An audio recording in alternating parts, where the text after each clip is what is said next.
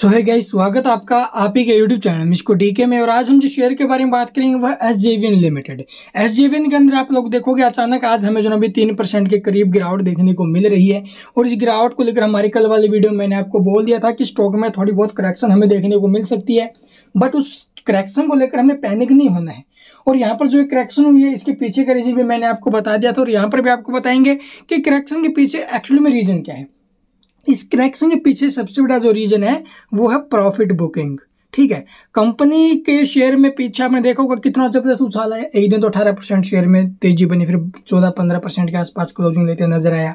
फिर अगले दिन आप लोग देखोगे दस बारह परसेंट कल के दिन भागा।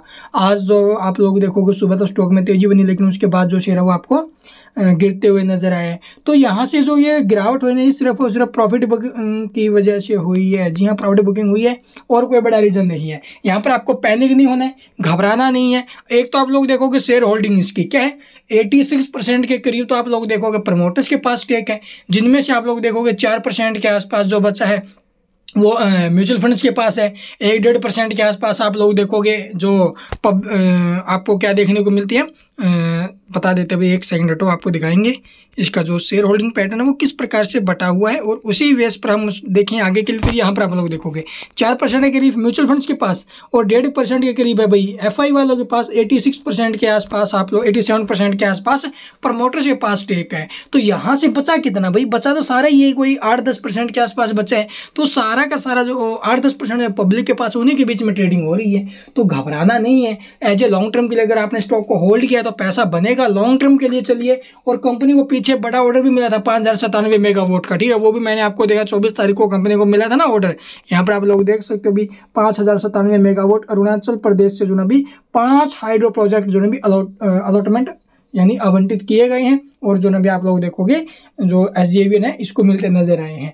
तो ये बहुत बड़ी खबर आते नज़र आई थी।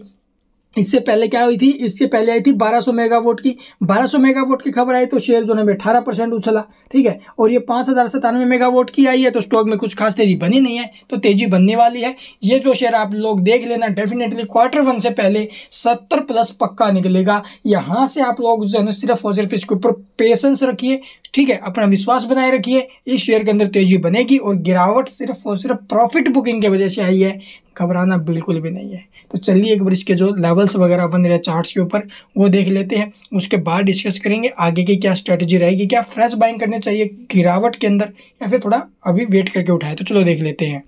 तो यहाँ पर आप लोग देखोगे एज इवन अभी भी एक स्ट्रॉन्गली अप ट्रेंड में हमें देखने को मिल रहा है। इसमें कोई दो राय नहीं है। यहाँ से सपोर्ट की हम बात करें तो सपोर्ट इसका क्या बना हुआ है? तिरपन रुपये पैंसठ पैसे मैंने आपको कल के दिन भी बोला था कि तिरपन पैंसठ का स्टॉप लॉस लेके रखिए। कोई दिक्कत वाली बात नहीं और अब आप लोग देखोगे जो शेयर है वो आपको कंसोलिडेट करते नज़र आ रहे हैं अभी यहाँ पर आप लोग देखो गिरावट ज़रूर है तीन परसेंट के करीब, तीन चार परसेंट के करीब। लेकिन उस गिरावट के चलते स्टॉक अब आपको कंसोलिडेट करते नज़र आ रहा है।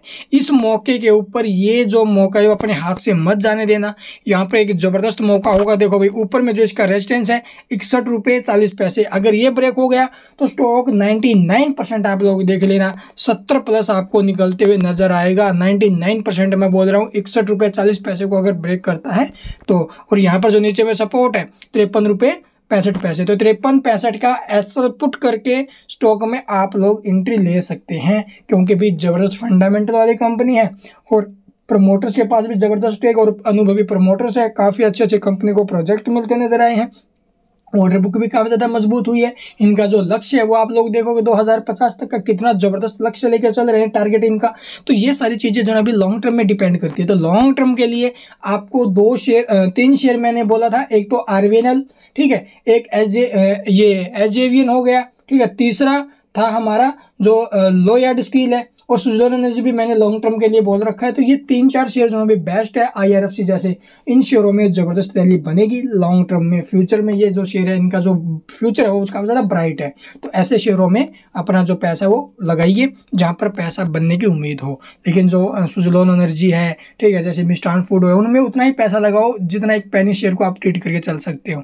आई होप आपको वीडियो पसंद आई होगी। वीडियो पसंद आए तो लाइक कीजिए। चैनल को सब्सक्राइब नहीं किया तो सब्सक्राइब करना मत भूलना और गिरावट को लेकर बिल्कुल भी परेशान नहीं होना and thank you for watching the video